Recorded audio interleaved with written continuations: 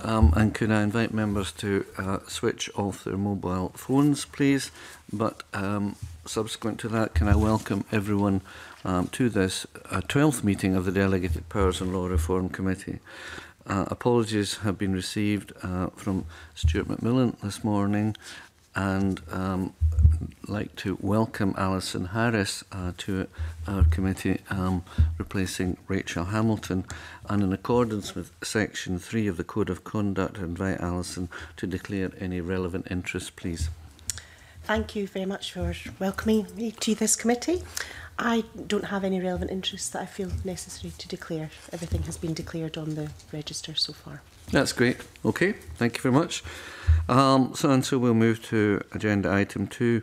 Um, and it's proposed that the committee um, take items six and item seven in private Uh, item 6 is a consideration of the committee's first quarter report, and item 7 is an opportunity to discuss aspects of the committee's work programme. Does the committee agree to consider item 6 and 7 in private?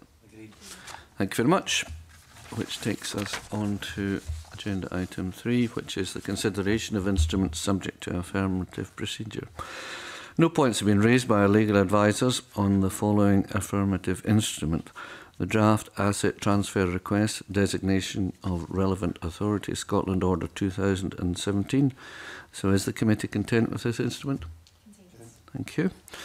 Which takes us to agenda item 4 and agenda item 4 is the consideration of instruments subject to negative procedure. Again, no points have been raised by our legal advisers on the following instruments. Asset Transfer Request Designation of Community Transfer Body Scotland Order 2016 SSI 2016 number 361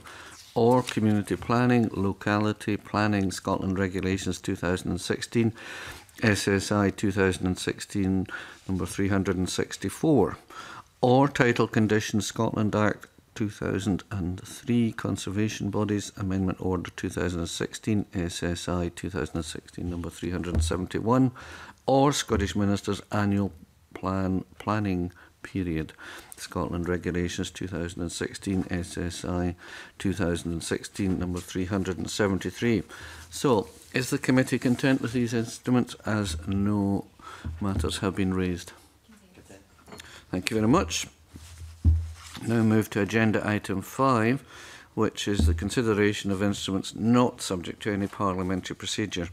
Again, no points have been raised by our legal advisers on the following instruments. The Land Reform Scotland Act 2016, Commencement Number 3, Transitory and Saving Provisions, Regulation 2016, SSI 2016, Number 365,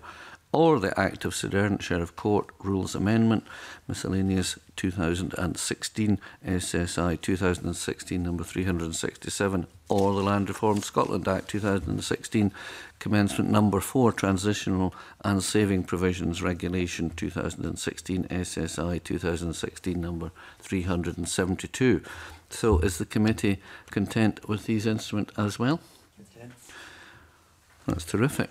And thank you very much. I now close the meeting and we'll move into private session. We're not closing the meeting, we're moving into private session. okay.